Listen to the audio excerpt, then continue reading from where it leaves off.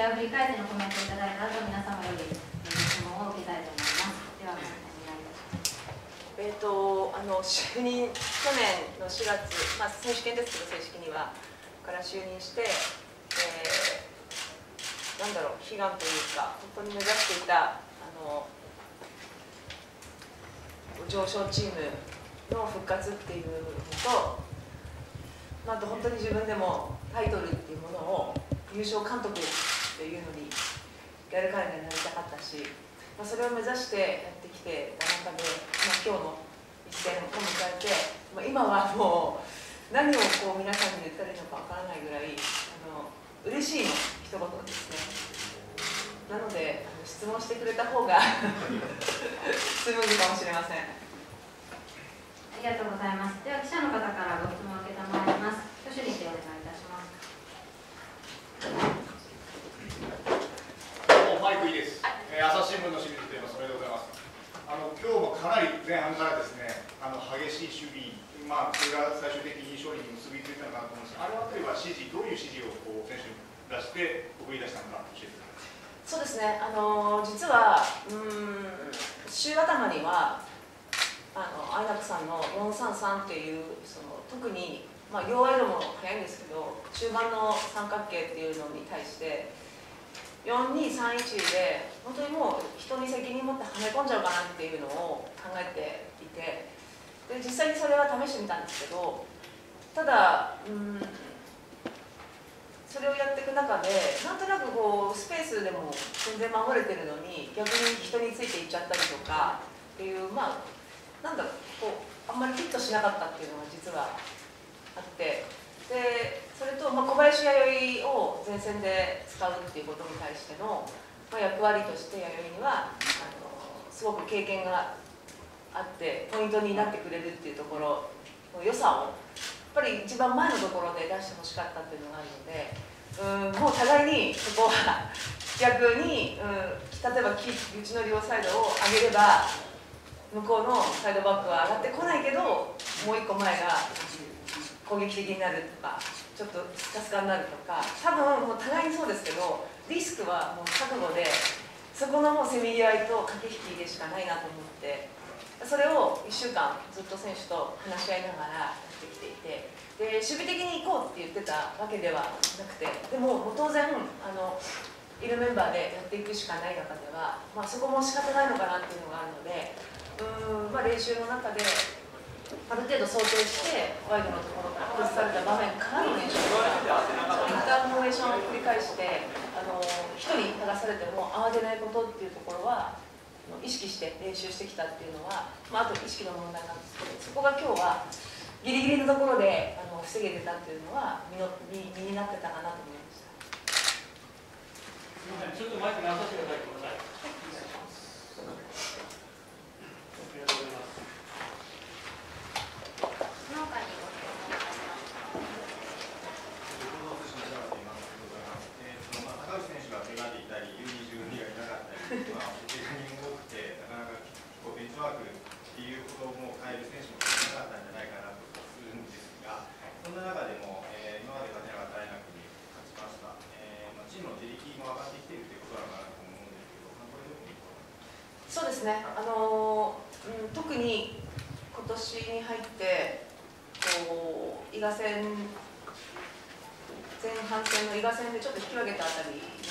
ころからこう真剣に選手と、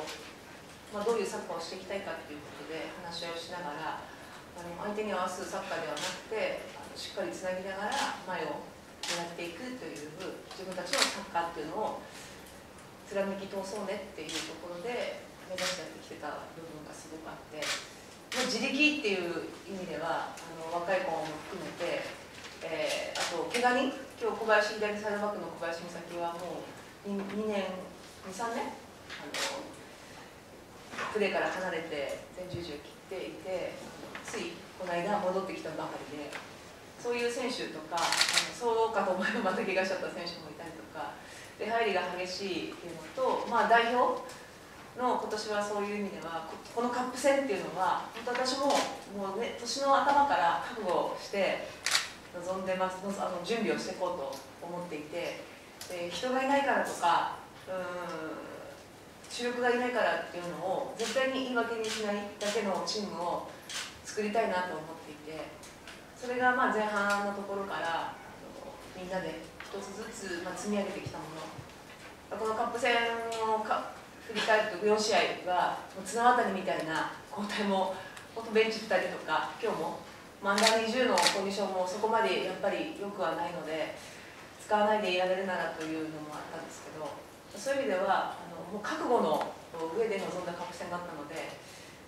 うんまあ、自力が上がったっていう見てくれたらすごく嬉しいしこれが、ま、次に本当につながればいいというのがありました、まあ、それよりも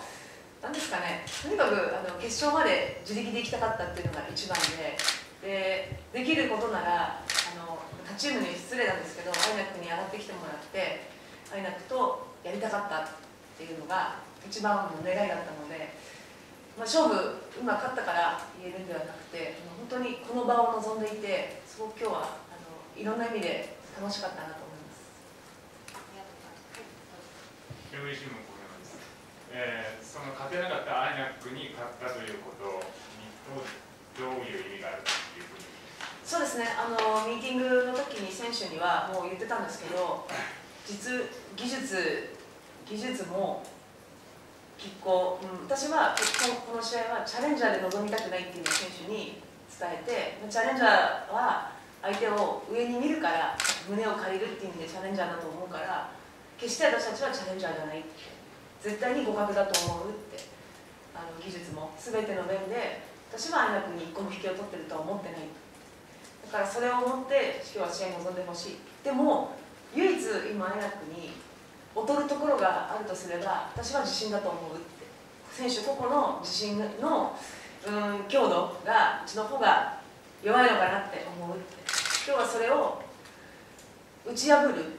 一戦に絶対にしたいって。もうとにかくみんなのことを信じるし、うん、1分でも1秒でもこのメンバーで、うん、交代とかじゃなくて本当にこのメンバーで最後までいけるようにそれぞれが自信を持ってやりたいっていうのを言って、えー、送り出したのがまあ一番大きな収穫だったかなと思います。今日はあの取って取られての展開で、まあ、見ているお客さんもすごくあの楽しいサッカーを見た、えー、満足感があると思うんですけれどもその中で例えばあの粘り強い守備だったり終盤のリスク管理またはフォワードの決定力のその中で、まあ、そういったどこがあの野田監督から見て一番良かったというチームはあいやもう今日はあれですね全ての選手がすごく良かったで今日はうんまあ自分の中では強いてあげるんだったらやっぱり中盤のボランチをやった隅田かなと。キーマンは隅田だったのでそこがどこまで本当にこのレベルであのアイナックを相手にうん今年みんなが上がってきて試合経験もあまりないあの子がどこまでいけるのかっていうところが勝負だと思ったので試合中もほとんどあのリンリンっていう名前なんですけどリンってリンしか叫んでないかなぐらい。本当にそこが、うん、あの崩れれば、まあ、当然たくさんあの苦しい場面はあったんですけど想定の中想定の範囲のところで収まってくれてたっていうのと後半あの少し開き直った感があって頑張ってくれていたので。ここがちょっとこうキーだったかなと隅田がキーになったかなと思います。時間も迫っておりますのであと一つえー、グリアンさん僕からと言います。あの先ほどまあ自信を持って送り出したということなんですけども今日の得点場面は非常に狙っていたというか、はい、ワンチャンス本当、まあ、ちょっと相手のこともあるんですけども非常にこうよく狙っていたというこのアグレッシブな姿勢というのはやはり自信を持つということと何か関係あるんでしょうか？そうですね、あの得点に関してはでもあのカップ戦ここ3試合戦っている中ではどの得点もすごく形が良くてアグレッシブというよりかは流れの中できちっと点を取れてて相手がミスをした時にはそれをちゃんとつけるだけの今技術とそのなんだろう個々の能力とコンビネーションっていうのを結構掲げてやってきたのでそれが形になってこの3試合出てたので。そこはもうあまりその攻撃の形にはめることなく自由にっていうところは常に意識して やらせてたのが今日すごく出てたかなと思いますね、まあ、意識してというよりかは攻守の切り替えこれはもう相手もそうですけど互いにブロック作ればなかなか崩せないのであの互いにカウンターをカウンターっていうチームではないんですけどでも取った瞬間取られた瞬間っていうのが絶対に鍵になるよっていうのは言っててそこの切り替えのところで攻撃陣すごくあの奪った瞬間早かったなと思ってます、まあ、それと他チームスカウティングやってる中ではボールを持った時にやっぱりすごくこう残念というか慌てちゃったりとかっていうのが、まあ、映像でちゃんと見せたりして、まあ、慌てないこと、まあ、慌ててる場面たくさんあったんですけどそれも含めて結果が出たっていうところがこれからまたその自信っていうのとつながったかなと思います。もう一つ送金ってどのようにお使いになりますか？今ね交渉中なんです。なんか食わせろとかなんだかんだと。これからちょっと社長の方に直談判しに行ってでももうあの本当にこう全ては今回選手の一丸というかそれが全てだったかなとあの本当にこんなに集中してやってくれるやってくれたしあの試合とかもなかなかないしもう本当満身創痍の中でみんなで取ったっていうところ。それと、まあ、怪我して出れない子たちもあの本当いろんな意味でサポートしてくれてうん多分いろんな人から言われるんですけど仲いいねって。本当に仲が良くてただの仲良しではなくて助け合いながら励ましながら切磋琢磨しながらっていうので大きく成長したその結果として一つ残したかったっていうところで、まあ、今は本当にほっとしてます。ありがとうございます。どうしてもそういうご質問がなければ以上でおしまいにしたいと思いますがよろしいですか？最後。